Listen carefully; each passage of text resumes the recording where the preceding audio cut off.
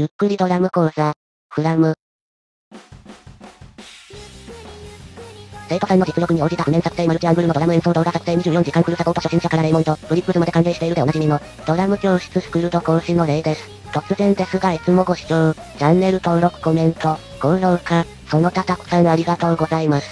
びっくりするほど、動画制作の力となっております。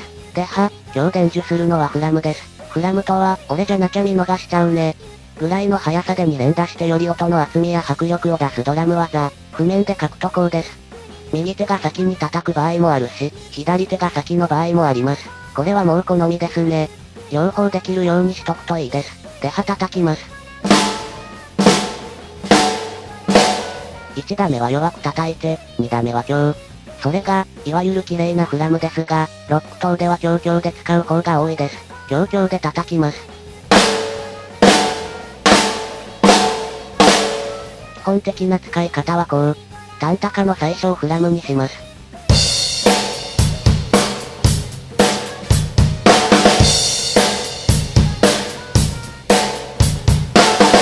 タンタカのパワーがちょっと増しますね。私は最初のフラムを RL って叩いてますが左手が先の LR でもいいです。叩きやすい方をどうぞ。あとは、こんな風にフラム、バスドラムの繰り返し。わかりやすいので曲の最初のカウントの代わりに使ってもいいし、そんなにうるさくないので回数を2回にしたりして曲中でも使いやすいですね。ちょっとアレンジしてこんなのもいいです。口で言えばタンタタンドンタンドン。最初と最後がフラムです。これも何気ないフレーズなので使いやすいです。実際のところグリグリに叩く技術よりもこういった何気ないフレーズを格好よく叩ける方が周りの人から格好良いドラマーと思ってもらえますね。では叩きます。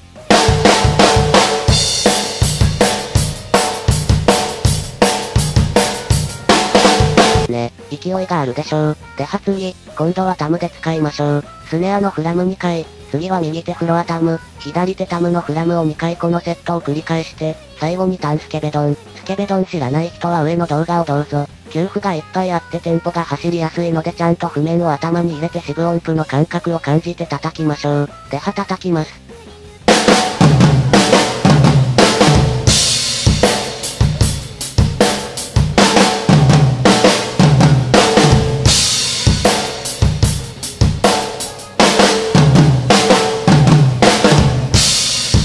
ういったフレーズは何でも良いから力いっぱい叩くのがポイントですね。では、ここからは現代的なフラムの使い方。右手が先のフラムで左手はスネア固定右手は最初タムだったり、フロアだったり、普通に叩くのとビビたる違いですがなんか違う風に聞こえます。叩きます。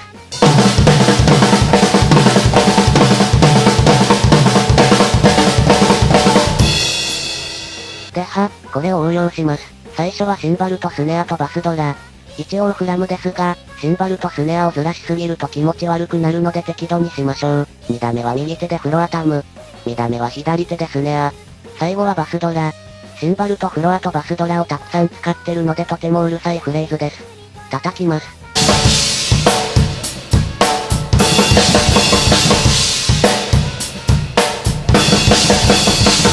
これをさらに応用するとこうです。叩きます。